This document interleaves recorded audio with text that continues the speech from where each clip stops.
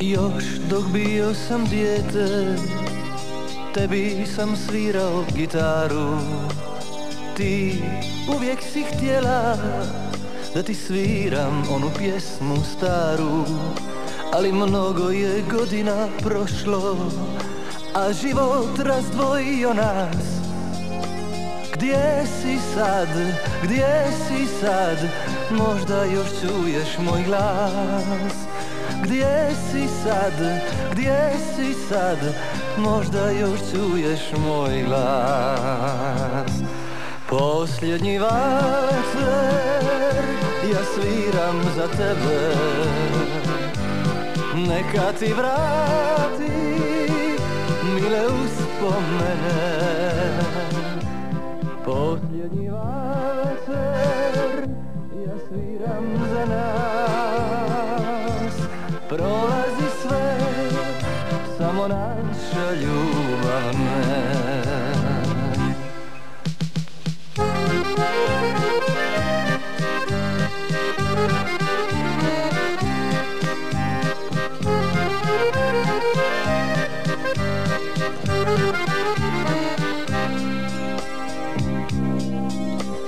Još dok bio sam dijete Tebi sam svirao gitaru.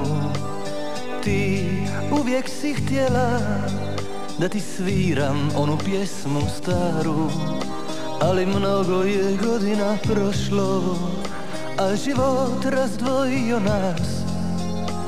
Gdje si sad, gdje si sad Možda još čuješ moj glas gdje si sad, gdje si sad? Možda još čuješ moj glas.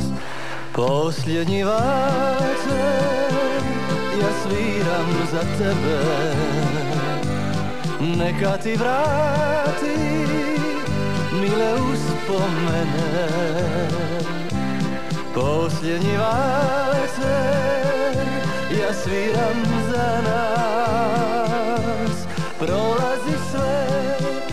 Samo naša ljubav ne. Posljednji vater Ja sviram za tebe. Neka ti vrati Mile uspomene. Posljednji vater Ja sviram